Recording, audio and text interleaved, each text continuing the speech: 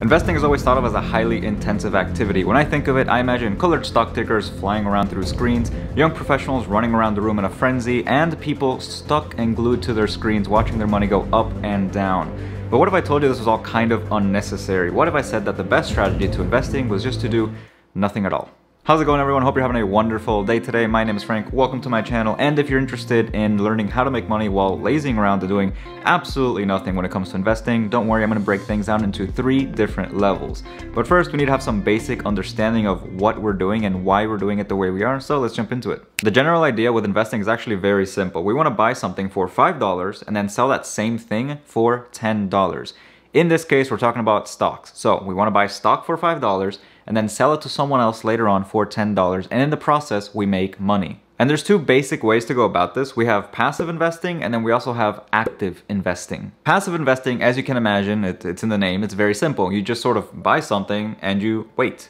You let that investment grow by itself. You don't really pay attention to what the market is doing because this is a very long-term strategy. It's not something you buy only to sell a few months later. It's something to buy and then hold on to for maybe 10 plus years. Active investing, on the other hand, is a lot more hands-on, obviously from the name. It involves you buying and selling stocks or other items of investment, judging by what is going on in the market. So if you think something is going to do very well, you buy more of that thing. And if you think something is going to do very poorly, you sell that thing. It takes takes a lot of research and paying attention to sort of what is going on in the market to educate your decision on how you want to move your money around. And this can be either for short term or long term. Both of these have their pros and cons, and there's actually a very famous case involving both passive and active investing strategies involving Warren Buffett, which I made a video about somewhere up there. But basically what happened is that passive investing won over the long term, and this long term being 10 years. And so in this video, we're strictly focusing on passive investing. Again, this is a very lazy investing strategy,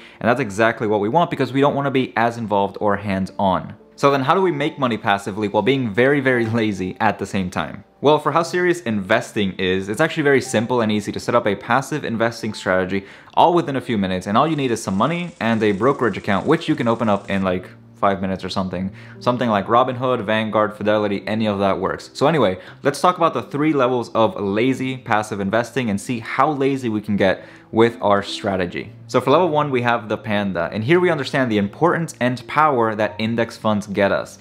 By investing into things like the S&P 500, we can actually, in basic terms, spread out our money over so many different companies that we won't really be affected by huge market downturns or huge market gains but, and this is very important, we can actually expect an average profit of 8% per year if we invest in something like the S&P 500. To take advantage of index funds then, we can send our money off to our brokerage account and then inside of a brokerage account we can then buy into funds like VFIX, which tracks the S&P 500, VTSAX, which tracks the entire US market, or VTWAX, which tracks the entire world market. And yeah, they all have super weird names, and all of these are Vanguard funds. Uh, funds from Fidelity will sound different, for example.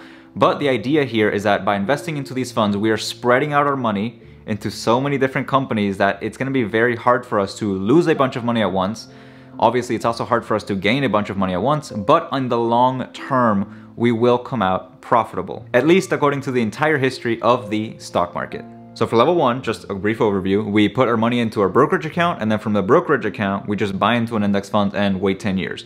But we can be smarter about this and more lazy about this. For level 2, we have the Koala, and it's basically everything from level 1, except we take advantage of a little known strategy called dollar cost averaging. You see, the market fluctuates up and down a lot, and while in an ideal world we would buy in here, and it just goes up and up and up, this is impossible to predict. On the other hand, we can have an unfortunate situation where we buy here and then spend the next few months crying ourselves to sleep. Dollar cost averaging is just a fancy term for buying the same investment repeatedly at spaced intervals throughout the entire year. So you buy something every two weeks or you buy something every month, something like that. The idea here is to set it up so that we get the average profit of the entire year, which should be around 8%. We don't really want to be sitting at our computer watching every little fluctuation go up and down and looking at the market. Remember, this is supposed to be a lazy strategy. So we're just sitting on our money and waiting. We want to just let it do its own thing. And also timing the market is near impossible, guaranteeing that 8% is what we want to do. Anyways, the way you can do dollar cost averaging is by, again, putting a bunch of money into your brokerage account, something like $1,200, and then dividing that by the entire year. So you want, if you want to invest every month, you set up your brokerage account to invest 100 of those dollars into a specific fund, let's say VFIX, every single month for the entire year. And by the end of the year, you should get the average profit that VFIX has earned in that year. So basically you set this up and you don't have to look at your investments for an entire year. This is actually the level I'm at, but there's another level beyond this that's even lazier. Level three is the sloth. And at this point, we are taking advantage of index funds and we're also taking advantage of strategically investing our money using dollar cost averaging. But by now, we've been manually putting our money into our brokerage account and then the money is invested from there. But that's a lot of work, remembering to manually add money to your brokerage account. There's an even lazier way to do this, and that is by setting up auto investing from your bank to your brokerage account. So every month, money from your bank, from your salary, is just automatically put into your brokerage account, and then from there, it's automatically invested every single month, and this can last for basically as long as you want. And by this point, we've basically created such an automatic process that we don't even have to think about it.